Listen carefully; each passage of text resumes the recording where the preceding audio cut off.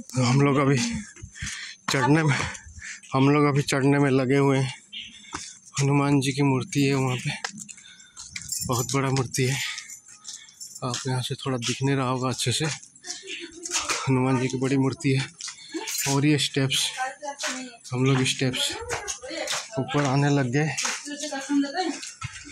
हम लोग अभी चढ़ रहे हैं। चढ़ाई पे। लेकिन हाँ हाँ हाँ। इस तरीके इस ये जो पहाड़ी है, इस पहाड़ी का नाम है सिहावा पहाड़ी। अभी थोड़ा सा हम साइंटिफिकली बात करते हैं, ठीक है? ये देखिए ये एक पहाड़ी है। इस पहाड़ी का, नमस्ते। इस पहाड़ी का नाम है सिहावा पहाड़ी, ठीक है? इस पहाड़ी के ऊपर जो बारिश होती है, वो चारों तरफ़ फैलता है। नमस्ते नमस्ते। चलिए, इस पहाड़ी के ऊपर जो बारिश होती है, ये चारों तरफ़ फैलता है, ठीक है? वो बारिश छोटे छोटे जल धाराओं में बदल जाता है। वो जल धारा इस पहाड़ी से नीचे उतरते हैं और जब नीचे उतर जाते हैं, सारे जल धारा मिल जाते हैं तो इसको महानदी कहते हैं। ठीक है? तो एक्चुअल ओरिजिन ऑफ़ महानदी।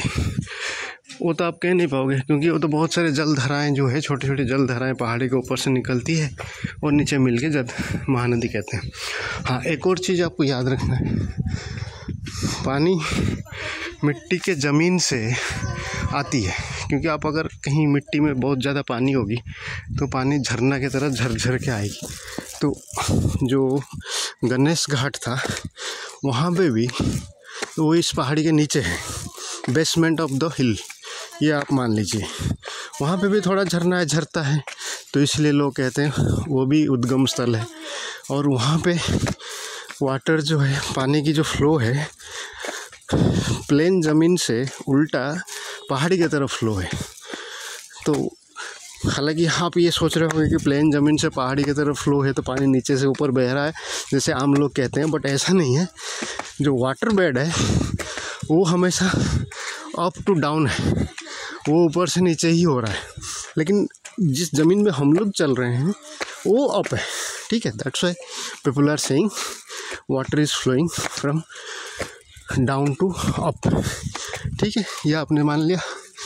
ये और ये श्रृंग ऋषि है यहाँ पे यहाँ पे भी लोग सोचते हैं कि ये स्टार्टिंग पॉइंट है बट ऐसा है नहीं। टोटल चार सौ पचास है ना? फोर फिफ्टी का तीन सौ। हाँ हो जाएगा कोई नहीं आराम से हो जाए। अच्छा आप थक गए? चल चलिए कोई नहीं। बलजीत बैठो मत बैठो मत। बैठोगे पैर जाम हो जाता है। अगर आप बैठ गए एक बार पैर जाम हो गया। बैठना नहीं है। बच्चे। बच्चे। बैठ गए तो पैर जाम हो जाता है। अरे कभी बैठना नहीं बीच में। हम मैंने पूरा वैष्णो देवी में ना हमने कभी बैठने को नहीं बोला। हम लोगों ने हम लोगों ने बैठने नहीं दिया मैंने इनको। बैठना नहीं है बैठना नहीं। बैठोगे तो दिक्कत है बैठोगे तो पैर जाम हो जाता है। ठीक है अभी मैं बंद कर रहा हूँ। फिर थोड़ी देर बाद फिर कर ऑन करेंगे।